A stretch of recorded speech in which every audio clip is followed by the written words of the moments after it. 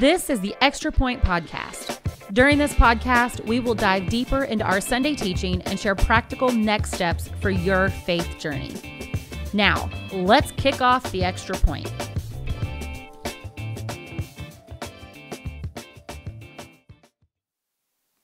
Hi, I'm Cheryl Ross, the Next Steps and Discipleship Pastor here at Southridge Church, and I'm with Scott Beha, our lead pastor. We want to welcome you to the Extra Point Podcast. If you have not liked or subscribed to this, make sure that you do so. That way, you don't miss out on any new content. Um, this past Sunday, we were in another week of our Rise and Fall series where we're going through the book of First Samuel. And this Sunday, we heard a story of where um, King Saul, the first king of Israel, actually kind of got something right. And um, we we talked a lot about how if you feel trapped or stuck, that you can know that help is on the way. Yeah.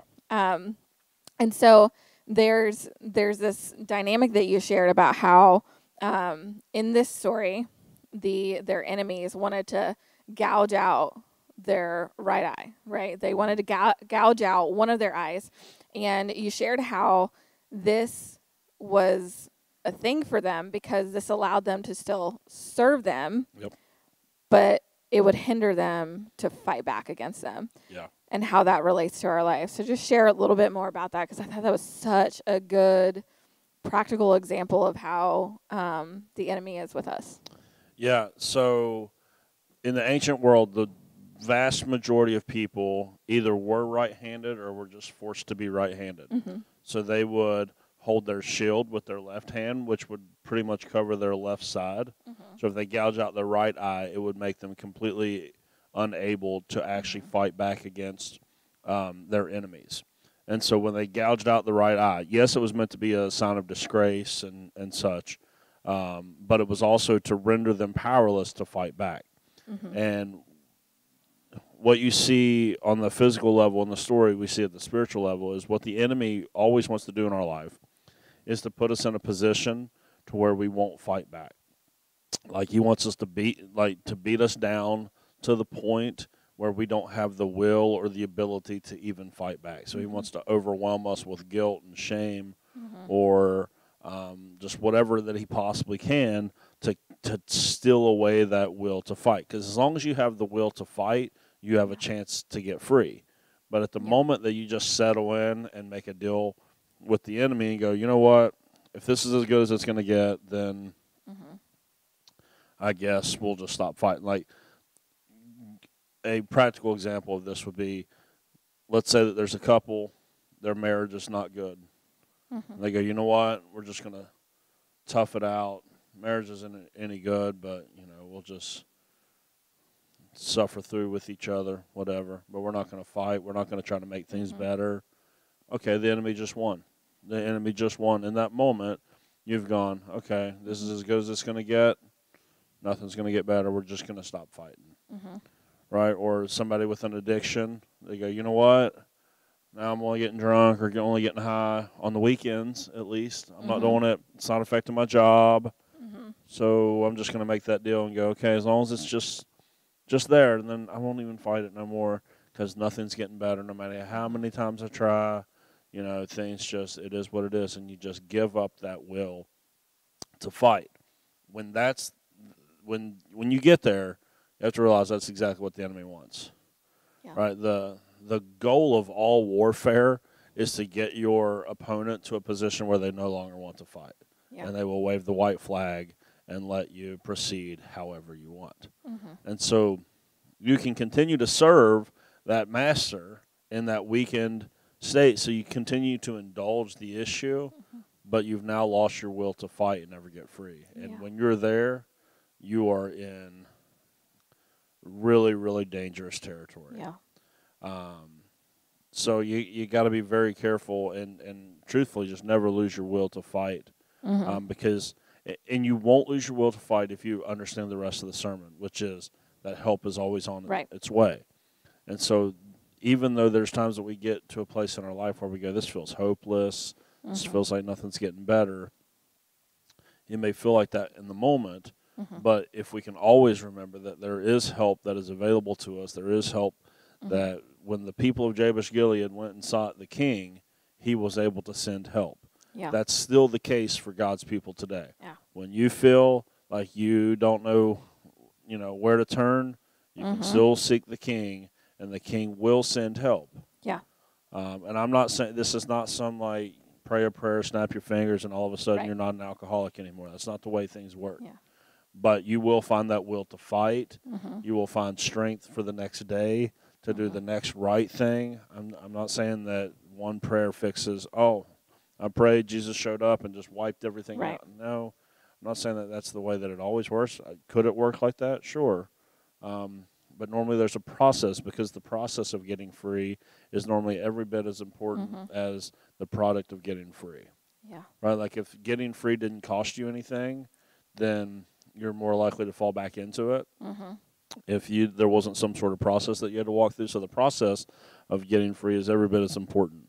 hmm Um, so that's why God doesn't just show up and wipe out all your issues. Right. Um, he's going to walk you through a process of getting free, so that way you really appreciate the freedom. Yeah, and I think also to strengthen your your character, your faith, your trust, all of that, like to where once you've gotten to that place, then you know, like you know, you've been through it and you've overcome with His help. To where then you know if there's something else that comes along the way, it gives you that that faith to look back and say, okay, God helped me through this. Now He can help me through this as well.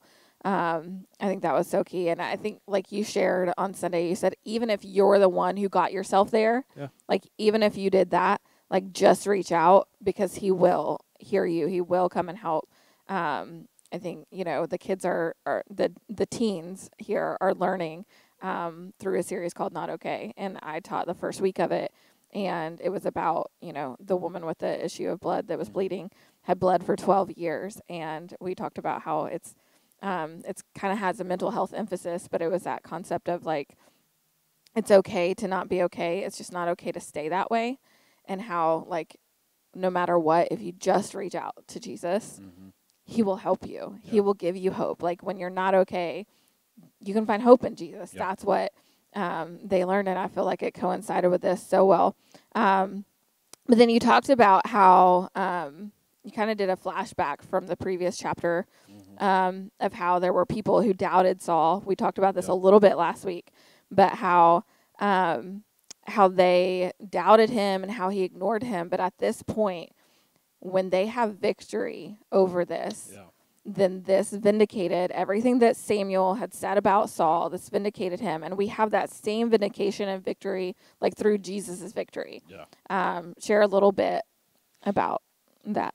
Yeah. So all of the stories of the kings and anything like that in the Old Testament, in one way or another, is always meant to point towards the the real King of Israel, um, Jesus. And so there's, especially in this story, you see the the really clear parallels. That there was these doubters in chapter 10, 1 Samuel chapter ten, that literally asked. They said, "Can can Saul actually set us free? Can he actually deliver us?" That's what they're asking. Like we need like we don't think that he really can.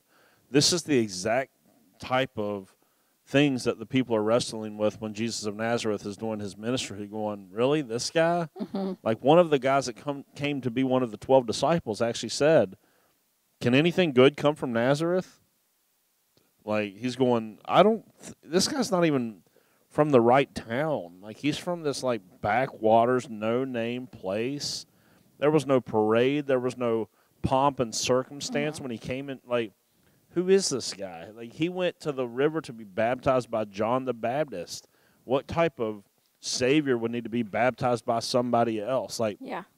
over and over, like we see people come to follow Jesus, and then we see them leaving him whenever things get really real. Like there was doubters constantly. Like when he was performing miracles, the Pharisees are going, "Oh, the only reason why he's able to perform miracles is because he does th- so through dark powers." They're saying he's in league with Satan, so they're they're they're doubting. He says over and over, like he tells his disciples, "I'm going to Jerusalem. I'm going to be killed, but don't worry, I'm going to be raised back up." And mm-hmm. the whole time you can see they go, I, "We don't know what you're talking about." Mm-hmm. to be honest. And then he says this wild stuff like, I'm going to tear down the temple and in three days I'm going to rebuild it, clearly talking about his resurrection. And people are like, oh, really? You're going to do that? Yes, he's really going to do that. And the thing, like, we miss this a lot of times because sometimes we just want to talk about the resurrection Mm-hmm. in a way that we go like, oh, look, see, um, now you can have eternal life because of the resurrection. Because well, there's there's a lot more going on there. The resurrection of Jesus of Christ was his vindication, Mm-hmm. meaning that everything that he ever said or every, everything that he ever done was actually true. Yeah. It was actually that that that's what's going on there. It's there. If you want to know who Jesus is and how he fulfills all the Old Testament prophecies, especially that of the Son of Man from Daniel chapter 7, it's through the vindication of the Son of Man that we come to realize who Jesus really is. Yeah. That's why it's important when we talk about Saul being vindicated, it's the same thing. It's through that victory that everyone goes, ah, Saul really is God's anointed, Yeah. which is the word Messiah. Mm-hmm. And so you see the very clear parallels there. Jesus had these doubters, and it was through his resurrection. Because I'm telling you, when he was on the cross, the disciples weren't there. John was there. Yeah. The, the rest of the disciples had scattered. Yeah. Peter had denied him Right. just, you know, hours before. The rest of them scattered, were hiding. They're going, we don't, we don't want anything to do with this guy. Maybe he really wasn't the real deal. Right. They're doubting. Yeah. Everyone's doubting Yeah. until the vindication comes. Mm-hmm. And the amazing thing is, especially in, in 1 Samuel 11, is Saul has every right to treat these doubters as traitors Mm-hmm. and decides to pardon them instead, which is Mm-hmm. the perfect picture of Jesus on the cross going, Father, forgive them. They don't know what they're doing. Yeah. Showing mercy to his enemies rather than giving them exactly what they deserve. And so in this story, you have the people of Jabesh Gilead who were in the wrong, most likely because of some sort of idolatry. Right. The text doesn't say it, but the only reason why God allows his people to be overran by other nations was always about idolatry and sin. Yeah. So the people of Jabesh Gilead definitely were in the wrong. The doubters within the kingdom were definitely wrong. And in both cases, no matter who you are, whether Mm-hmm. you're just doubting or whether you're actively turning your back against God or whatever it is, the king comes to your rescue, Mm-hmm. helps on the way. Whether you're the problem Yeah. um, or or whatever. Like Mhm. help is always on the way in the form of the king. And so this story plays a perfect picture of what Jesus has done and how it's really only the king that's able to pardon you Mm-hmm. whenever you're guilty. And we're all guilty. You're guilty. I'm guilty. Everyone listening to this is guilty of turning our backs on God. Yeah. It's what we do. It's Mhm. our own idolatry, and it looks so different um, than ancient Israel, which is why we Right. are not real quick to call it what it is. Right. But the story of the scriptures is always about how humanity turns to other things and gives up their dominion that God gave them in Mhm. Genesis 1, Yeah. gives their dominion over to Mhm. created things, created the created order, Mhm. false gods, and Mhm. how those things then enslave them Yeah. like what we what you see in Israel with the Asherahs and Baal and Mhm. all of these other gods is we're given our dominion, our power, and Yeah. then you're going to enslave us. And the way that God would do that is by sending. But we do the same exact thing here in our life. Let's say that you give your power and your dominion over to alcohol, Mm-hmm. and you become an alcoholic Mm-hmm. that now masters you. That Mhm. you're now. It started off as I'm turning away from one thing to another, but now it masters you. Yeah. Um, this can happen with with even with hobbies. This can happen with with money, and this can happen with your job. Mm-hmm. And you go, oh, but these some of these things aren't necessarily bad things. Like it's not not not everything is heroin, right? Like Right.